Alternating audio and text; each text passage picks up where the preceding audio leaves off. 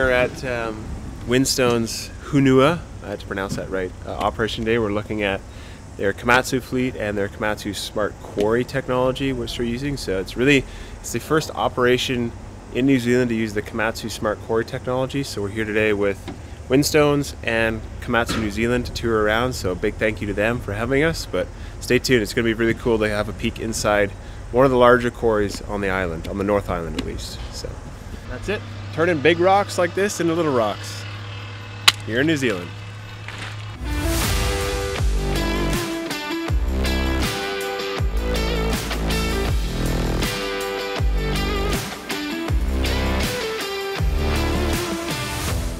So this is the dashboard of SQS, which is Smart Quarry Site. This is Winstone's Hunua. So this is Simon Hill Pit. This is the main laydown where all the product is processed and, and sits. But Smart Quarry Site goes on the production fleet. So you've got your 1250 and then the 785s hauling. This is obviously sped up for demonstration purposes. They do not drive this fast here in New Zealand on mine sites, but any data that comes off the trucks, such as fuel burn, load counts, payload, anything like that that can help Winstones as an operation operate better as a business, Komatsu Smart Quarry collects and then relays back to this hub. So you've got a tally of all your equipment or plant here, and then a live, kind of a live feed, which can be summed up at the end of the day and shows all the, uh, the data. But so in each machine, they have a little tablet, which gives them the ability to select, depending on what product they're hauling, to dump in each grade or each product, because there's a variety of products they produce here. So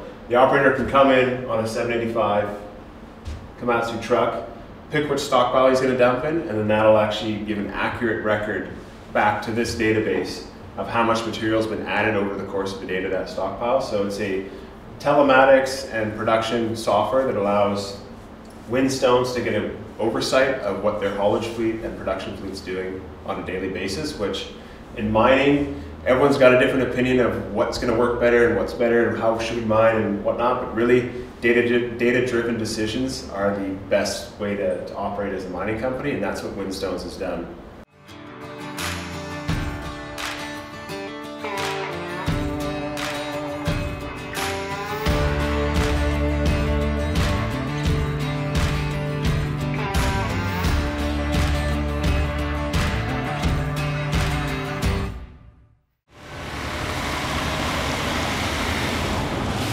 This is the weighing station. So all the trucks that come in get weighed, and then once they get loaded, they go through a little wash bay there. So they're clean when they go on the roads, and then they get weighed on the way out to see the amount of product they're taking from the site, so the site can track it. But on a busy day, which is most days here at Hunua, one truck will go in and out of there every 37 seconds. So they do about two and a half to three million tons per year out of this quarry. So every 37 seconds, a truck is going across that scale.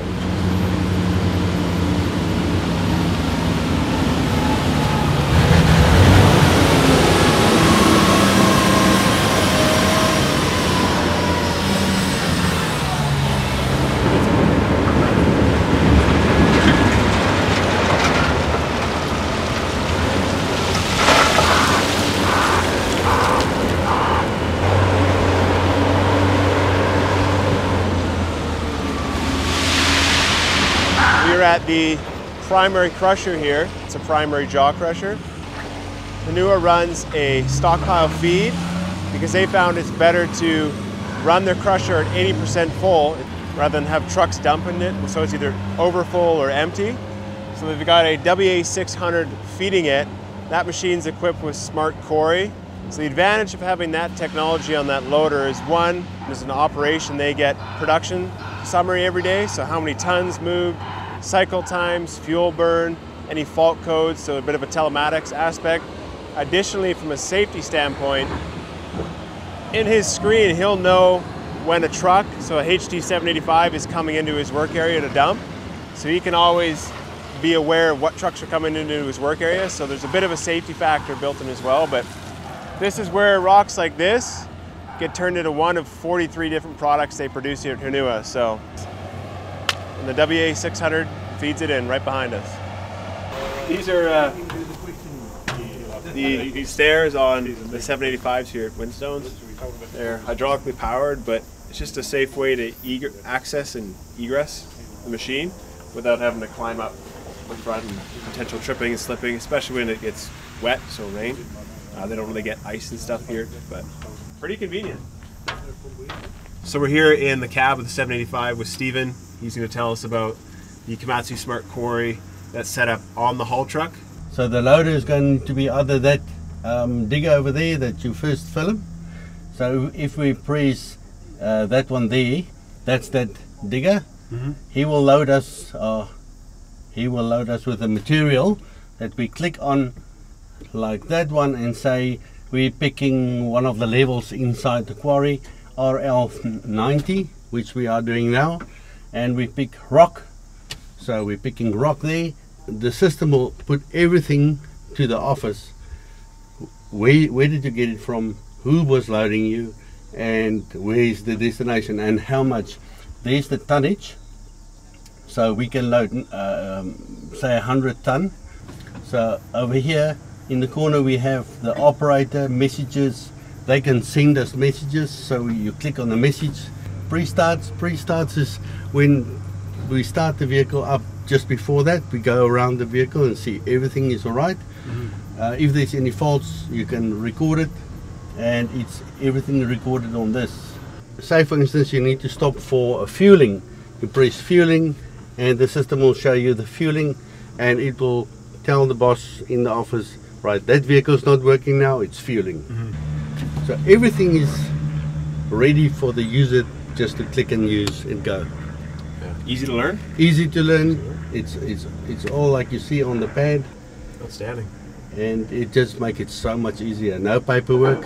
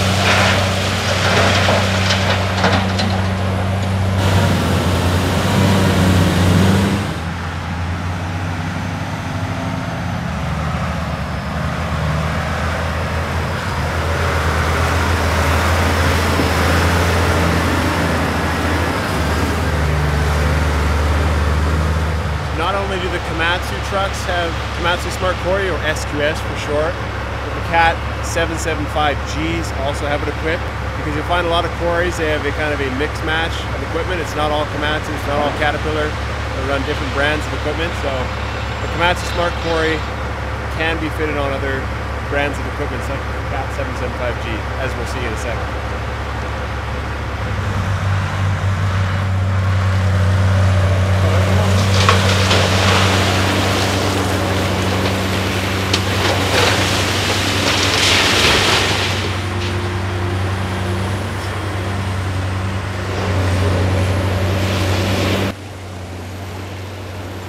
This is also another example.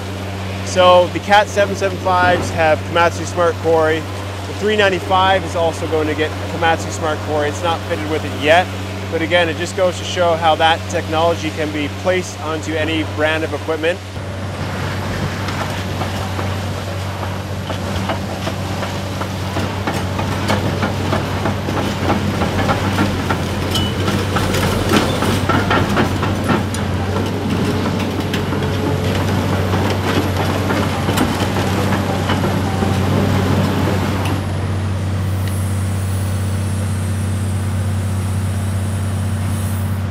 I'm used to yards. Six and a half cubic meter bucket, rock bucket spec accordingly, extra wear parts, side cutters. Wow, beautiful machine. One really neat thing about these, so it's a quarry machine, so it's a bit of an arrow pad, leaf holes, but these little lights here, these little, these are green lights that actually flash. So when the truck is being spotted in, or the truck is full. These will actually flash and the truck can see that in their mirror. So there's no horns used here in the quarry because of the proximity to the residential area. So they actually use light signals. So a little green flashing lights inside the machine indicate to the truck driver that it's full. And again, you've got typical kind of New Zealand, Australian outfit. Reflective stripes, full, large catwalks, ladder. I mean, just take a walk, walk up on this thing. Like right from ground level. Easy as. Tons of room up top. The best part about this machine, and this goes out to Ryan Neal of Caterpillar, is this is a non-tier 4 395. So everything in Canada is tier 4. But this thing sounds as it should. Unrestricted, no emissions. How a 395 should be, Ryan. Take note. The New Zealanders know how to do it. digging these top pincers, which are only seven and a half metres high instead of 15.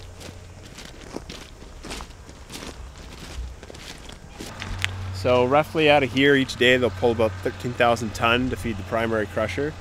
So this is kind of a mixture. This is a bit of brown rock, but there's blue rock, which is the blue gray, greywacke they mine here right below this. So this is the prime stuff that's used in construction all over New Zealand. Every everyone who builds something, whether it's bridges, roads, you know, schools, uh, foundations for a home, uses the blue rock. It's such a high quality. That's it. Turning big rocks like this into little rocks here in New Zealand.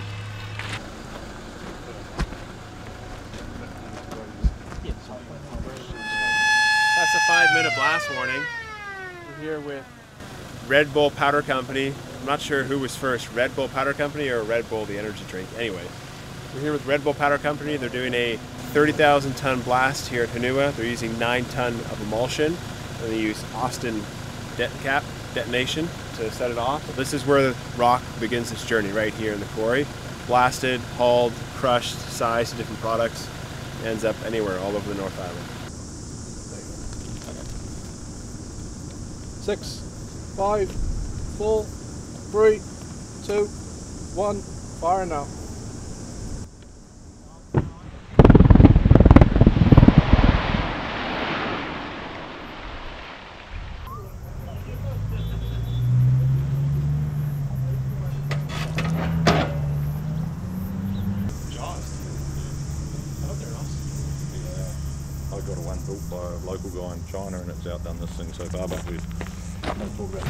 1250 to do it. It's down for a bit of maintenance today. Uh, it's the Dash 11 and it's running the Komatsu Smart Quarry setup. So it talks with the haul trucks and also talks with that dashboard we looked at earlier today. Uh, but we'll go up inside the cab and have a look at the SQS.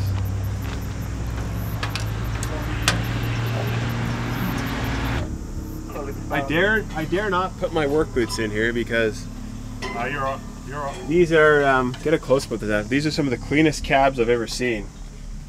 They've got carpet in here. Look at that. It's a good example of what you get when you get the Komatsu Smart Quarry. So each machine that's equipped with it, so haul trucks, that WA600 and this 1250 has a screen in the cab. So this communicates back to that dashboard and relays all the production information, telematics, and things like that. So so interestingly enough, this bucket's actually built by Jaws, which is an Australian manufacturer. In Canada, we have manufacturers like WBM, CWS, Bradken, but this is what you see a lot of over here in New Zealand because it's an Australian. They're just doing some addition of some more wear parts. So these are heel shrouds. We've got some teeth that are getting replaced, a couple side cutters, a couple wear parts. So that's why the 1250 is down today for maintenance. Inconvenient, inconveniently when we visit, but nevertheless, we got up close with it to check it out. So since it's a super production machine, it's a little bit bigger of a bucket, or spade as we call them in Canada. So big thank you to Winstones and everyone who helped have us out, and a big thank you to Komatsu New Zealand for being here as well. They graciously took us around, toured us around. We saw everything from the crusher to the quarry to a blast. So again, big thank you for having us out. I'll link their website below and their social if you want to check them out and learn more about Hunua. So thank you again.